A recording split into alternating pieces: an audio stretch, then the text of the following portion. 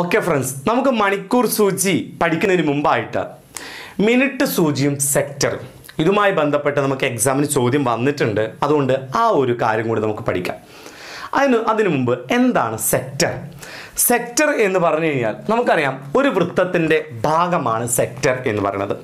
അതായത് ഒരു വൃത്തത്തിന്റെ രണ്ട് ആരങ്ങൾക്കിടയിലുള്ള വൃത്തഭാഗം. ഇപ്പം ഈ ഒരു മുറിച്ച് കളഞ്ഞ ഭാഗം സെക്ടറാണ് അതുപോലെ ഈ ഒരു ഭാഗവും സെക്ടറാണ് ഓക്കെ അതായത് സെക്ടർ എന്ന് പറഞ്ഞു കഴിഞ്ഞാൽ ഒരു വൃത്തത്തിന്റെ നമുക്കറിയാം കേന്ദ്രം ഇത് ആരമാണ് ഇത് ആരമാണ്. ഓക്കെ അപ്പോൾ ഈ ഒരു വൃത്തത്തിന്റെ രണ്ട് ആരങ്ങൾക്കിടയിലുള്ള ഈ വൃത്തത്തിന്റെ ഈ ഭാഗത്തെ പറയുന്ന പേരാണ് സെക്ടർ എന്ന് പറയുന്നത്. അപ്പോൾ ഈ ഭാഗവും സെക്ടറാണ് രണ്ട് ആരങ്ങൾക്കിടയിൽ വരുന്ന ഭാഗം. അത് ഈ ഭാഗമായിക്കോട്ടെ ഈ ഭാഗമായിക്കോട്ടെ. ഓക്കെ ഇതിനെയാണ് നമ്മൾ സെക്ടർ എന്ന് പറയുന്നത്. അപ്പോൾ ഇതൊരു സെക്ടറിന് ഉദാഹരണം. ഇതൊരു സെക്ടറാണ് ഓക്കെ ആണല്ലോ? യെസ് അപ്പോൾ നമുക്ക് സെക്ടറിന്റെ പരപ്പളവാണ് നമുക്ക് എക്സാമിന് ചോദ്യം വന്നിട്ടുള്ളത്. പരപ്പളവ് എന്ന് പറഞ്ഞാൽ എന്താണ് വിസ്തീർണം ഈ പരന്ന അളവ് കാണണം. ഓക്കെ അപ്പോൾ സെക്ടറിന്റെ പരപ്പളവ് കാണാനുള്ള സമവാക്യം ഞാൻ ഇവിടെ എഴുതാൻ പോവാണ്. അതിനു മുമ്പ് ഒരു സമവാക്യം നിങ്ങൾ ഇങ്ങോട്ട് പറയണം. അതായത് വൃത്തത്തിന്റെ പരപ്പളവ് അല്ലെങ്കിൽ വൃത്തത്തിന്റെ വിസ്തീർണം. ഇംഗ്ലീഷിൽ ഏരിയ എന്നാ പറയാം. വൃത്തത്തിന്റെ വിസ്തീർണം കാണാനുള്ള സമവാക്യം എന്താ? പൈ ആർ സ്ക്വയർ അല്ലെ? അപ്പൊ വൃത്തത്തിന്റെ വിസ്തീർണം കാണുന്ന സമവാക്യം പൈ ആർ സ്ക്വയർ. എല്ലാവർക്കും അറിയുന്ന ഒരു സമവാക്യമാണ് അല്ലെ? വൃത്തത്തിന്റെ വിസ്തീർണം കാണുന്ന സമവാക്യമാണ് പൈ ആർ സ്ക്വയർ. ഓക്കെ ആണ് ഇതിനോടൊരു സംഭവം കൂടി ഗുണിച്ച് കഴിഞ്ഞാൽ സെക്ടറിന്റെ വിസ്തീർണം. അതായത് തീറ്റ ബൈ മുന്നൂറ്റി അറുപത് ഡിഗ്രി. അത്രേ ഉള്ളൂ. ഓക്കെ പൈ ആർ എന്ന് പറഞ്ഞ സർക്കിളിന്റെ വിസ്തീർണമാണ് അതിനോട് കൂടെ ഒരു തീറ്റ ബൈ മുന്നൂറ്റി അറുപത് ഡിഗ്രി കൂടി ഗുണിച്ചു കഴിഞ്ഞാൽ സെക്ടറിന്റെ വിസ്തീർണം കാണാനുള്ള സമവാക്യം എന്ത് ഈ തീറ്റ? തീറ്റ എന്ന് പറഞ്ഞാൽ ഒരു സെക്ടർ എടുത്തു കഴിഞ്ഞാൽ ഇവിടെ ഒരു കോൺ ഉണ്ടാകും. അല്ലെങ്കിൽ ഈ ഭാഗത്ത് ഒരു കോൺ ഉണ്ടാവും ഈ ഒരു അളവ്. ഓക്കെ അപ്പോൾ ഈ ഒരു സംഭവമാണ് എടുക്കുന്നെങ്കിൽ ഇതാണ് അതിന്റെ പിന്നെ എന്തെന്ന് പറയണത്? കോൺ എന്ന് പറയുന്നത് ഓക്കെ ആണല്ലോ. അപ്പോൾ ഇതെടുക്കുകയാണെങ്കിൽ ഇതാണ് കോണ് അല്ലെങ്കിൽ ഇതാണ് കോൺ ഈ കോൺ അളവ് അതിനൊരു അളവ് ഉണ്ടായിരിക്കും. ടോട്ടൽ അളവ് മുന്നൂറ്റി അറുപത് ഡിഗ്രി ആണ് അല്ലേ? അപ്പോൾ ഈ ഒരു കോണളവ് അത് ചിലപ്പോൾ മുപ്പത് ഡിഗ്രി ആവാം നാൽപ്പത് ഡിഗ്രി ആവാം അൻപത് ഡിഗ്രി ആവാം. ആ കോണളവിനെ സൂചിപ്പിക്കാനാണ് നമ്മൾ തീറ്റ എന്ന് കൊടുത്തിരിക്കുന്നത്. ഓക്കെ അപ്പം തീറ്റ എന്ന് പറയുന്നത് ഈ കോണളവ് ഓക്കെ ഇനി ഇവിടെ ആറ് സ്മോൾ ലെറ്റർ ആറ് ആറ് എന്ന് പറഞ്ഞാൽ ഇതിന്റെ റേഡിയസ് ആണ്. വൃത്തത്തിന്റെ ആരത്തെയാണ് ആറ് കൊണ്ട് സൂചിപ്പിക്കുന്നത്. ഓക്കെ പൈയുടെ വില നമുക്ക് രണ്ട് വാല്യൂസ് നമുക്കറിയാം. പൈയുടെ വില മൂന്ന് പോയിന്റ് ഒന്ന് നാല് എന്നൊരു വിലയുണ്ട്. അതുപോലെ തന്നെ പൈക്ക് ഇരുപത്തിരണ്ട് ബൈ ഏഴ് എന്ന വിലയുണ്ട്. ഓക്കെ. അത് നമ്മൾ സാഹചര്യത്തിനനുസരിച്ചാണ് കൊടുക്കുക. തന്നിരിക്കുന്ന ചോദ്യത്തിൽ ഏഴിന്റെ ഗുണിതമാണ് തരുന്നതെങ്കിൽ. അതായത് നമുക്ക് തന്നിരിക്കുന്ന സംഖ്യ അതായത് പ്രത്യേകിച്ച് റേഡിയസ് ഓക്കെ ആരം ഏഴോ ഏഴിന്റെ ഗുണിതമോ ആണ് തരുന്നതെങ്കിൽ പൈയുടെ വാല്യൂ ആയിട്ട് നമുക്ക് എന്ത് കൊടുക്കണം? ഇരുപത്തിരണ്ട് ബൈ ഏഴെന്ന് കൊടുക്കണം. സാധാരണഗതിയിൽ പൈയുടെ വാല്യൂ പറയാറുള്ളത് മൂന്ന് പോയിന്റ് ഒന്ന് നാല്. കൂടുതൽ കൊടുത്തിരിക്കുക മൂന്ന് പോയിന്റ് ഒന്ന് നാല് എന്ന് പറയുന്നത് മൂന്ന് എന്ന് പറയുന്നത് ജനുവരി ഫെബ്രുവരി മാർച്ച്. മൂന്നാമത്തെ മാസമാണ് മാർച്ച്. ഓക്കെ അപ്പം മാർച്ച് പതിനാലാണ് ലോക പൈ ദിനം എന്നുകൂടി ഇതിന്റെ കൂടെ ഓർത്തു വെക്കുക. മാർച്ച് പതിനാലാണ് ലോക പൈ ദിനം. ഓക്കെ അല്ലേ?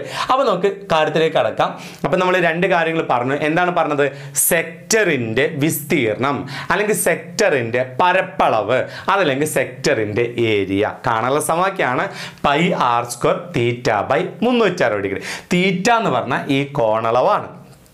ഓക്കെ പിന്നെ നമ്മൾ പറഞ്ഞ പൈയുടെ വാല്യൂ പൈയുടെ വാല്യൂ ഈ ആരം ഏഴോ ഏഴിന്റെ സാധാരണ ഏഴിന്റെ ഗുണിതങ്ങളാണ് തരാറുള്ളത് കേട്ടോ. അപ്പം അപ്പോൾ ഏഴിന്റെ ഗുണിതങ്ങളാണെങ്കിൽ പൈയുടെ വാല്യൂ ഇരുപത്തിരണ്ട് ഇപ്പം ഏഴ് കൊടുക്കണം. ഓക്കെ അല്ലേ? ചോദ്യത്തിലേക്ക് കടക്കുന്നതിന് മുമ്പ് ഒരു കാര്യം കൂടി പറഞ്ഞോട്ടെ.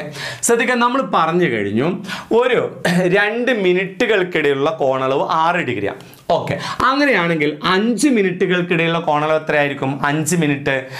എത്രയാണ്? ആറ് ഇന്റു അഞ്ച് അയർ മുപ്പത് ഡിഗ്രി. ഓക്കെ അപ്പം നിങ്ങൾ മനസ്സിലാക്കേണ്ടതാണ് ഓരോ അഞ്ച് മിനിറ്റും ഓക്കെ അല്ലെങ്കിൽ ഈ ഒരു ഗ്യാപ്പ് ഈ ഒരു ഗ്യാപ്പ് എന്ന് പറയുന്നത് മുപ്പത് ഡിഗ്രി ആയിരിക്കും. ഓക്കെ ആണല്ലോ. ജസ്റ്റ് ഓർത്ത് വെക്കുക. അതായത് ഓരോ അഞ്ച് മിനിറ്റും എത്ര ഡിഗ്രിയാണ്? മുപ്പത് ഡിഗ്രി മുപ്പത് ഡിഗ്രി മുപ്പത് ഡിഗ്രി ആണെന്ന് ഓർത്തിരിക്കുക ഓക്കെ ആണല്ലോ? അപ്പോൾ ഈ ഒരു ഗ്യാപ്പ് മുപ്പത് ഡിഗ്രി ഈ ഒരു ഗ്യാപ്പ് മുപ്പത് ഡിഗ്രി അപ്പോൾ ഈ ടോട്ടൽ ഈ ഗ്യാപ്പ് അറുപത് ഡിഗ്രി. ഓക്കെ ആണല്ലോ?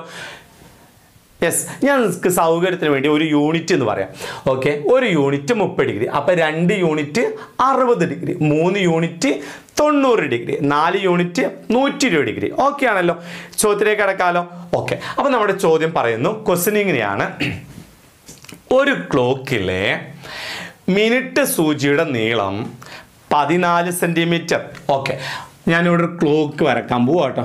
ഒരു ക്ലോക്കിലെ മിനിറ്റ് സൂചിയുടെ നീളം പതിനാല് സെന്റിമീറ്റർ ആണ് ഓക്കെ മൂന്ന് മണി മുതൽ ഓക്കെ അപ്പം മൂന്ന് മണി നമുക്ക് അടയാളപ്പെടുത്തണം അല്ലേ ഓക്കെ മൂന്ന് മണി. യെസ് മൂന്ന് മണി മുതൽ ആ മൂന്ന് നമുക്ക് അടയാളപ്പെടുത്താം. മൂന്ന് മണി മുതൽ മൂന്ന് പതിനഞ്ച് വരെ മിനിറ്റ് സൂചി സഞ്ചരിച്ച ഭാഗത്തിന്റെ പരപ്പളവുണ്ട്. എങ്ങനെ എങ്ങനെ എന്താ ചോദ്യം എന്താണ്?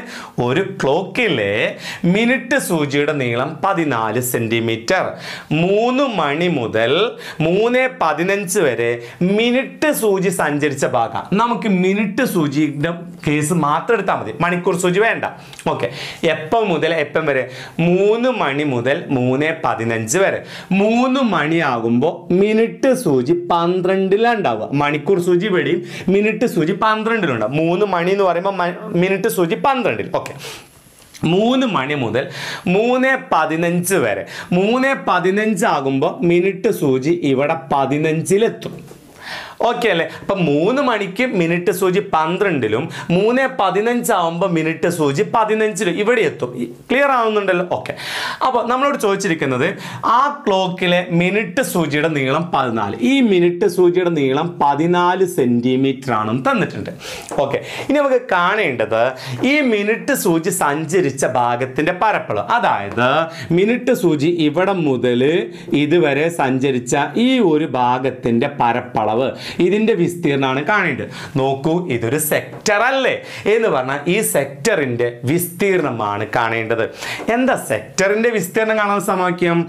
Pi R square into theta by മുന്നൂറ്റി അറുപത് ഡിഗ്രി ഓക്കെ അല്ലേ? അപ്പൊ ഇവിടെ നോക്കൂ നമുക്ക്. ഇവിടെ pi into pi into R square ആരം ആർ എന്ന് പറഞ്ഞാൽ എത്രയുണ്ട്? ഈ സൂചിയുടെ നീളം കേട്ടോ ഇത് ഈ നീളത്തെയാണ് നമ്മൾ ആരം റേഡിയസ് എന്ന് പറയുന്നത് അത് എത്ര? പതിനാല്. പതിനാല് സ്ക്വയർ പതിനാല് ഇന്റു പതിനാല്. കണ്ടോ? നോക്കൂ. പതിനാല് ന്ന് എന്നുള്ളത് ഏഴിന്റെ ഗുണിതമാണ്. രണ്ട് ഏഴ് പതിനാല് അല്ലേ? ഏഴിന്റെ ഗുണിതമായതുകൊണ്ട് പൈയുടെ വാല്യൂ എന്ത് കൊടുക്കണം? ഇരുപത്തിരണ്ട് ബൈ ഏഴ്. ഓക്കെ പൈയുടെ വാല്യൂ ഇരുപത്തിരണ്ട് ബൈ ഏഴ് എന്ന് കൊടുക്കണം. Okay into theta. തീറ്റ എന്ന് പറഞ്ഞാൽ ഈ കോണളവ്. നോക്കാം. നമ്മൾ പഠിച്ചിട്ടുണ്ട് ഈ ഒരു ഗ്യാപ്പ് മുപ്പത് ഡിഗ്രിയാണ് എന്ന് പറഞ്ഞാൽ ഇതൊരു യൂണിറ്റ് ഇവിടെ ഒരു യൂണിറ്റ് ഇവിടെ ഒരു യൂണിറ്റ്. ആകെ മൂന്ന് യൂണിറ്റ്. ഒരു യൂണിറ്റ് മുപ്പത് ഡിഗ്രി. പഠിച്ചോർമ്മല്ലേ ഓരോ അഞ്ച് മിനിറ്റ് എത്ര ഡിഗ്രിയാണ്? മുപ്പത് ഡിഗ്രി അല്ലേ? അപ്പം മുപ്പത് അറുപത് തൊണ്ണൂറ്. ഓക്കെ. അപ്പം ഈ കോണളവ് എത്ര ഡിഗ്രിയാണ്? തൊണ്ണൂറ് ഡിഗ്രിയാണ്. ഓക്കെ ആണല്ലോ? യെസ് അപ്പം നമുക്ക് ഈ പിന്നെ തീറ്റ എന്ന് പറയുന്നത് തൊണ്ണൂറ് എന്ന് കിട്ടുന്നു ഡിവൈഡ് ബൈ മുന്നൂറ്റി അറുപത് സീറോയും സീറോയും വെട്ടി ഏഴിന്റെ ഗുണിതമാണ് പതിനാല്. ഏഴ് പതിനാല് വെട്ടി. ഏഴിനോട് എത്ര ഗുണിച്ച പതിനാല് കിട്ടും? രണ്ട് ഏഴ് പതിനാല് അല്ലേ? ആ രണ്ട് വലിയ സംഖ്യയുടെ സ്ഥാനത്ത് എഴുതുന്നു. ഓക്കെ. നോക്കിക്കേ. ഒമ്പതിന്റെ ഗുണിതമാണ് മുപ്പത്താറ്. അതുകൊണ്ട് ഒമ്പത് മുപ്പത്താറ് വെട്ടി. ഒമ്പതിനോട് എത്ര ഗുണിച്ച മുപ്പത്താറ് കിട്ടും? നാല് ഇന്റു ഒമ്പത് മുപ്പത്താറ് അല്ലേ? ആ നാല് വലിയ സംഖ്യയുടെ സ്ഥാനത്ത് എഴുതുന്നു. ഓക്കെ. ഇനി നമുക്കറിയാം രണ്ടിന്റെ ഗുണിതമാണ് നാല്. അതുകൊണ്ട് രണ്ടും നാലും വെട്ടി. രണ്ടിനോട് രണ്ട് ഗുണിച്ചാലാ നാല് കിട്ടുക. രണ്ട് വലിയ സംഖ്യയുടെ സ്ഥാനത്ത് എഴുതി. ഓക്കെ അല്ലേ? ഇനി ഇവിടെ നോക്കിക്കേ രണ്ടിന്റെ ഗുണിതമാണ്. അല്ലെങ്കിൽ രണ്ടിന്റെ ഗുണിതമാണ് ഇരുപത്തിരണ്ട് അല്ലേ? അപ്പോൾ നമുക്ക് ഇരുപത്തിരണ്ട് ബൈ രണ്ട്. ഇരുപത്തിരണ്ട് ബൈ രണ്ട് പറഞ്ഞാൽ ഇരുപത്തിരണ്ടിന്റെ പകുതി. ഇരുപത്തിരണ്ടിന്റെ പകുതി പതിനൊന്ന് ഇന്റു ഇനി ഇവിടെ ഒരു പതിനാല്. ഈ രണ്ട് സംഖ്യകളും ഗുണിച്ചാൽ നമ്മുടെ ഉത്തരമായല്ലോ ഒന്ന് ഗുണിച്ചു നോക്കാം അല്ലേ? പതിനൊന്നും കൊണ്ട് ഗുണിക്കാൻ എളുപ്പമല്ലേ എന്ത് ചെയ്താൽ മതി? ഒറ്റയുടെ സ്ഥാനത്തൊക്കെ നാല് എഴുതുക. പിന്നെ നാല് ഒന്നും കൂട്ടിക്കഴിഞ്ഞാൽ അഞ്ച് ഇനി ഒന്ന് എഴുതുക ആൻസർ നൂറ്റി അൻപത്തി നാല് ഇവിടെ പിന്നെ സൂചിയുടെ നീളം സെന്റിമീറ്റർ ആയതുകൊണ്ട് സെന്റിമീറ്റർ പരപ്പളവിന്റെ യൂണിറ്റ് അല്ലെങ്കിൽ വിസ്തീർണത്തിന്റെ യൂണിറ്റ് സ്ക്വയർ അപ്പോൾ ഉത്തരം നൂറ്റി അൻപത്തി നാല് സെന്റിമീറ്റർ സ്ക്വയർ എന്നതാണ് ഉത്തരം. നിങ്ങൾക്കിത് വ്യക്തമായിട്ട് മനസ്സിലാക്കുന്നതിന് വേണ്ടി ഒരു ചോദ്യം കൂടി നമുക്ക് ചെയ്തു നോക്കാം. അടുത്ത ക്വസ്റ്റ്യൻ ഇങ്ങനെയാണ്. ഒരു ക്ലോക്കിലെ മിനിറ്റ് സൂചിയുടെ നീളം ഇരുപത്തി ഒന്ന് സെന്റിമീറ്റർ എട്ട് മണി മുതൽ എട്ട് നാൽപ്പത് വരെ മിനിറ്റ് സൂചി സഞ്ചരിച്ച ഭാഗത്തിന്റെ പരപ്പളവെന്ത് ഓക്കെ അപ്പോൾ എട്ട് മണി മുതൽ ശ്രദ്ധിക്കുക മിനിറ്റ് സൂചി സഞ്ചരിച്ച ഭാഗം. എട്ട് മണി എന്ന് പറയുമ്പോൾ മിനിറ്റ് സൂചി പന്ത്രണ്ടിലല്ലേ ഉണ്ടാവുക? ഇപ്പം മണിക്കൂർ സൂചി എട്ടിലും ഉണ്ടാവും പക്ഷേ മിനിറ്റ് സൂചി എവിടെ ഉണ്ടാവുക? പന്ത്രണ്ടിലുണ്ടാവും. നമുക്ക് ആ മണി മിനിറ്റ് സൂചി മാത്രം പരിഗണിച്ചാൽ മതി. നമ്മളോട് ചോദിച്ചത് മിനിറ്റ് സൂചി സഞ്ചരിച്ച ഭാഗമാണ് ഓക്കെ മിനിറ്റ് സൂചി എട്ട് മണി എന്ന് പറയുമ്പോൾ മിനിറ്റ് സൂചി പന്ത്രണ്ടിൽ കാണും. പിന്നെന്ത് പറഞ്ഞു? എട്ട് മണി മുതൽ എട്ട് നാൽപ്പത് അല്ലേ? എട്ട് നാൽപ്പതിന് മിനിറ്റ് സൂചി എവിടെ കാണാം? എവിടെ? നമുക്കറിയാം അഞ്ച് പത്ത് പതിനഞ്ച് ഇരുപത് ഇരുപത്തഞ്ച് മുപ്പത് മുപ്പത്തഞ്ച് നാൽപ്പത് അപ്പം മിനിറ്റ് സൂചി ഇവിടെ എത്തും ഓക്കെ ആണല്ലോ. ഇനി അപ്പോൾ ഇനി ഒരു സംശയം ഉണ്ടാവും. ഇവിടുത്തെ കോണാണോ ഇവിടുത്തെ കോണാണോ എടുക്കുന്നല്ലേ നോക്കാം നമുക്ക് ചോദ്യത്തിൽ വായിച്ചു നോക്കാം. എന്താ പറഞ്ഞിരിക്കുന്നത് നോക്കാം. ഒരു ക്ലോക്കിലെ മിനിറ്റ് സൂചിയുടെ നീളം ആ മിനിറ്റ് സൂചിയുടെ നീളം ഇരുപത്തൊന്ന് സെന്റിമീറ്റർ. ഓക്കെ ഇരുപത്തൊന്ന് സെന്റിമീറ്റർ എട്ട് മണി മുതൽ എട്ട് നാൽപ്പത് വരെ മിനിറ്റ് സൂചി സഞ്ചരിച്ച ഭാഗത്തിന്റെ പരപ്പളവ്. മിനിറ്റ് സൂചി ഇവിടുന്ന് ഇതുവഴിയല്ലേ സഞ്ചരിക്കുക ക്ലോക്ക് വൈസ് അല്ലേ? ഇതിലെങ്ങനെയാണ് സഞ്ചരിക്കുക? എന്ന് പറഞ്ഞാൽ മിനിറ്റ് സൂചി സഞ്ചരിച്ച ഭാഗം ഇതാണ്. ഓക്കെ. അപ്പോൾ ഇതിന്റെ പരപ്പളവാണ് കാണേണ്ടത്. മിനിറ്റ് സൂചി സഞ്ചരിച്ച ഭാഗം ഇതാണ്. അപ്പോൾ ഈ സഞ്ചരിച്ച ഭാഗത്തിന്റെ വിസ്തീർണം അല്ലെങ്കിൽ പരപ്പളവാണ് കാണേണ്ടത്. ഓക്കെ അല്ലേ? അപ്പോൾ നമുക്ക് തീറ്റ കാണാം. തീറ്റ എന്ന് പറഞ്ഞാൽ ഈ കോണളവാണ്. തീറ്റ ആ കോണളവ് കാണാൻ ഇവിടെ എത്ര യൂണിറ്റ് ഉണ്ടെന്ന് നോക്കാം ഒരു യൂണിറ്റ് മുപ്പത് ഡിഗ്രി എന്ന് പറഞ്ഞാൽ ഈ ഒരു ഗ്യാപ്പ് മുപ്പത് ഡിഗ്രി ആണല്ലോ. ഓക്കെ. അപ്പോൾ എത്ര യൂണിറ്റ് ഉണ്ട് നോക്കിക്കോളൂ. ഒന്ന് രണ്ട് മൂന്ന് നാല് അഞ്ച് ആറ് ഏഴ് എട്ട് യൂണിറ്റ് ഉണ്ടല്ലോ. ഓക്കെ. അപ്പോൾ എട്ട് ഇന്റു മുപ്പത് നൂറ്റി ഇരുപത്തിനാല് ഇരുന്നൂറ്റി നാൽപ്പത് ഡിഗ്രിയാണ് കോണളവ് ഉണ്ടാവുന്നത് ഡൗട്ടൊന്നുമില്ലല്ലോ അല്ലേ? ഇരുന്നൂറ്റി നാൽപ്പത് ഡിഗ്രി കോണളവ്. ഇനി നമുക്ക് ഈ പരപ്പളവ് കാണാം. ഇതെന്ന് പറഞ്ഞാൽ സെക്ടർ ആണല്ലോ അല്ലേ? നോക്കൂ ഈ ഒരു ഷേപ്പ് അല്ലേ ഇതിന് വരുന്നത് അല്ലേ? ഇതൊരു സെക്ടർ ആണ്. സെക്ടറിന്റെ വിസ്തീർണം കാണാനുള്ള സമവാക്യം എന്താണ്? ആദ്യം വൃത്തത്തിന്റെ വിസ്തീർണം പറഞ്ഞേ pi R square. Pi R square വൃത്തത്തിന്റെ വിസ്തീർണം അല്ലേ? അതിനോട് എന്തും കൂടി ഗുണിച്ചാൽ മതി.